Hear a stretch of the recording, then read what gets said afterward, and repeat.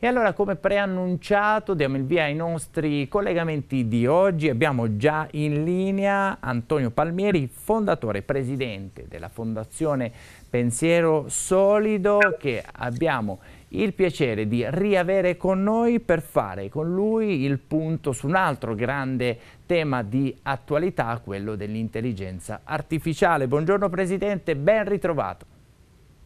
Ben ritrovati a voi, grazie per avermi voluto ancora con voi e un grande saluto a tutte le persone che ci stanno guardando dalla fredda Milano. Grazie a te per la disponibilità a guidarci nel discernimento di uno dei temi di grande attualità oggi. Eh, dicevamo a telecamere spente mentre non eravamo in onda che oggi si parla di intelligenza artificiale, eh, tanto, quasi tanto eh, si parla di crisi climatica, no? che è un altro grande tema, la sostenibilità. Per cui ti chiedo subito un punto della situazione anche in prospettiva eh, rispetto all'evento che eh, con Pensiero Solido avete organizzato per giorno 13 dove il focus sarà intelligenza artificiale e lavoro. In estrema sintesi diciamo che l'intelligenza artificiale continua a essere un argomento all'ordine del giorno perché perché impatta tutti i settori della vita.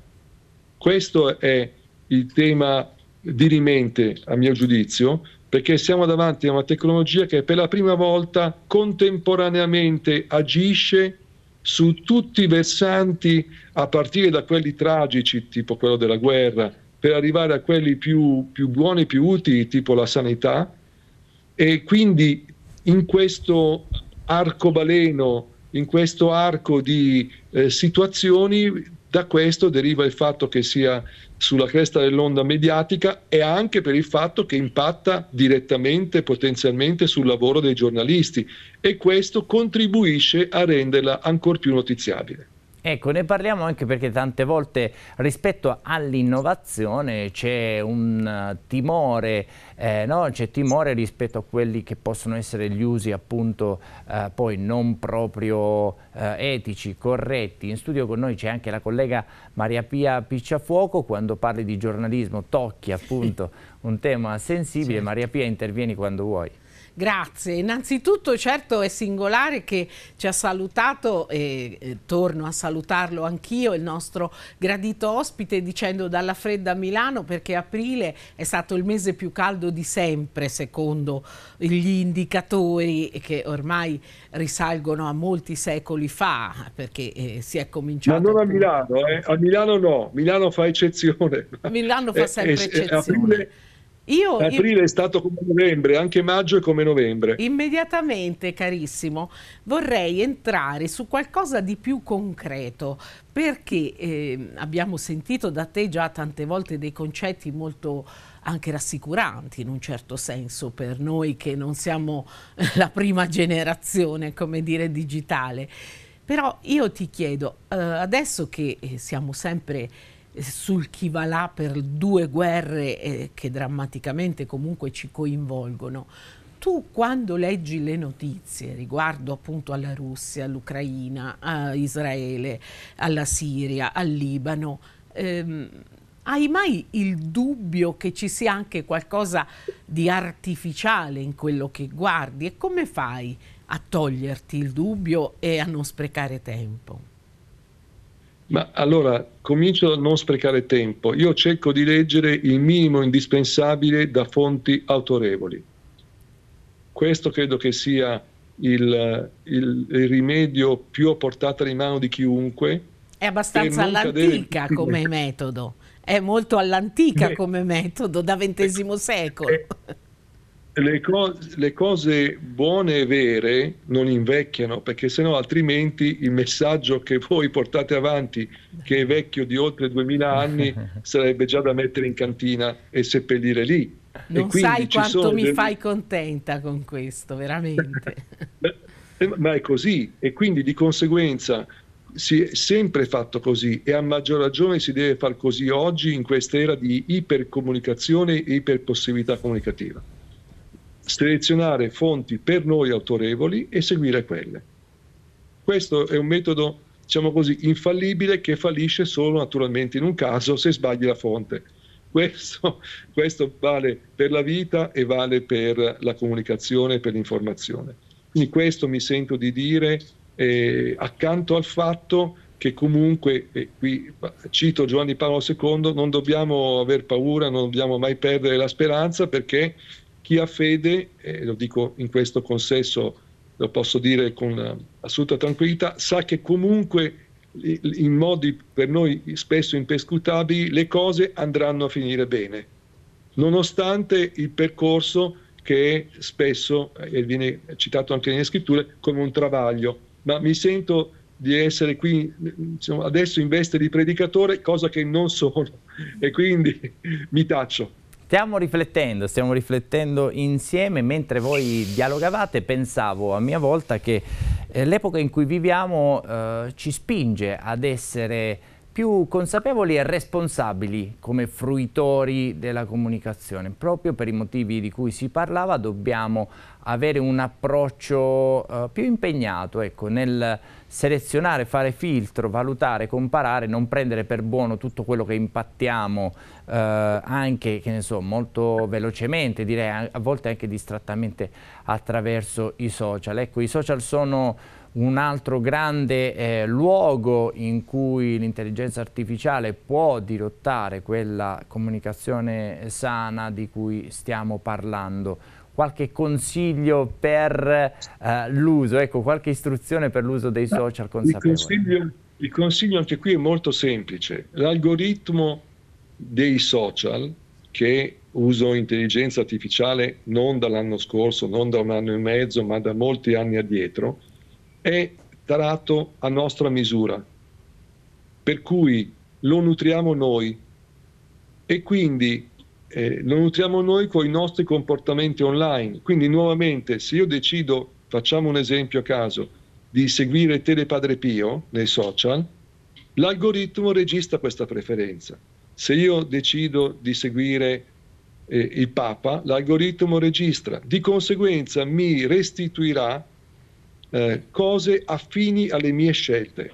Io su questo punto insisto da molti anni perché se è vero che le piattaforme e gli algoritmi hanno uno strapotere di orientare quello che vediamo, è altrettanto vero che però eh, li nutriamo noi e quindi siccome sono tarati per adeguarsi alla nostra misura, più noi li nutriamo con cibo buono, quindi seguendo persone giuste, come torniamo al punto di prima, eh, con comportamenti online eh, adeguati, e più ci restituirà cose utili. Quindi, e termino, la formula è non essere noi al servizio dell'algoritmo, ma mettere l'algoritmo al nostro servizio.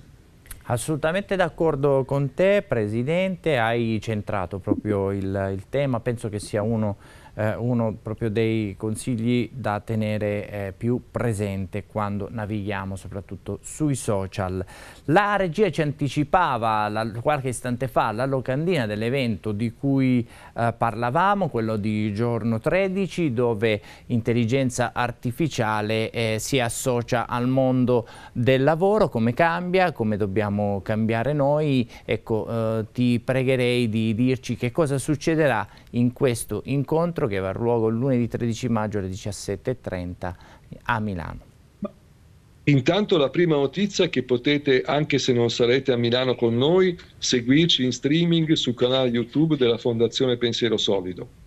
La seconda notizia è che questo è l'inizio di un percorso che durerà sei mesi con un incontro ogni mese, tendenzialmente il secondo o terzo lunedì del mese, eh, eh, dedicato appunto a approfondire come dobbiamo cambiare noi, quale deve essere il nostro atteggiamento rispetto all'impatto che l'intelligenza artificiale ha sul lavoro. E ospiteremo in questo percorso sia le big tech, sia aziende italiane, sia esponenti dell'accademia, dell'università, della ricerca, sia giornaliste, giornalisti, comunicatori, comunicatrici, persone che riflettono, persone che hanno scritto libri sul tema, perché siccome siamo all'inizio, all'inizio dell'era dell'intelligenza artificiale generativa, oh, di conseguenza noi vogliamo mettere assieme un caleidoscopio di riflessioni, non di opinioni, eh, attenzione, non di pareri, ma di riflessioni e di esperienze che ci aiutino, torniamo al verbo di prima, a orientarci. Lunedì è il caso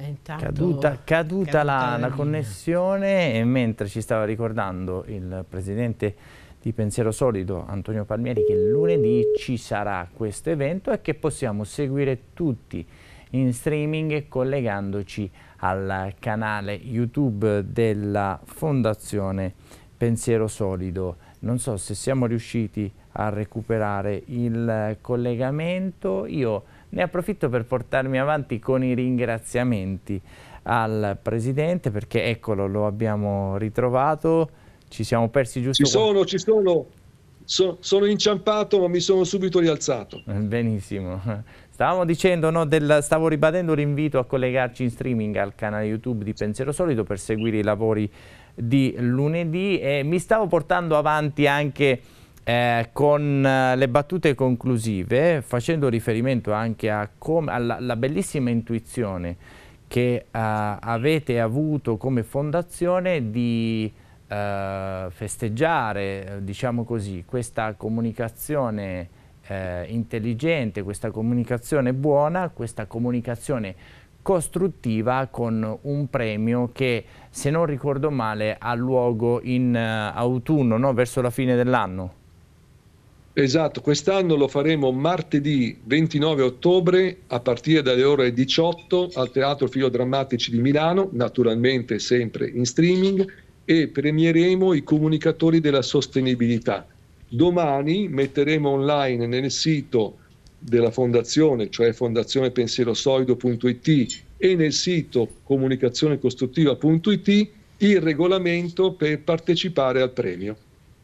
Molto bene, e con questa ulteriore notizia eh, noi giungiamo al termine di questa chiacchierata ringraziandoti per la presenza, per la disponibilità, eh, sapendoti amico di Padre Pio TV, quindi ecco, con la speranza di ritrovarci anche prossimamente laddove eh, anche tu stesso ne possa ravvisare la necessità, segnalaci eh, notizie, aggiornamenti, informazioni che possiamo condividere col nostro carissimo pubblico. Antonio, un Grazie, saluto. Io... Un saluto e Anch'io. mi riprometto di approfondire il, proprio l'aggettivo generativo con te, perché ha delle ombre secondo me in quel contesto. Adesso ti saluto allora noi, intanto. Noi approfondiremo quando volete e anch'io contraccambio i saluti e, e vi ringrazio per l'ospitalità, è sempre un piacere e anch'io saluto come l'ha definito Tony, il carissimo pubblico, espressione che mi piace moltissimo. Eh sì, perché sono davvero tanti quelli che ci seguono da tutta Italia, che interagiscono quotidianamente con noi, per cui c'è un rapporto di affetto particolare e i collegamenti come quello che abbiamo appena fatto con te non possono che arricchire questo legame. Grazie Presidente, allora arrivederci a presto. A voi, arrivederci. E noi ringraziando e salutando il presidente della Fondazione Pensiero Solido Antonio Palmieri, restituiamo la linea alla regia per prendere fiato, ma ritorniamo subito con voi.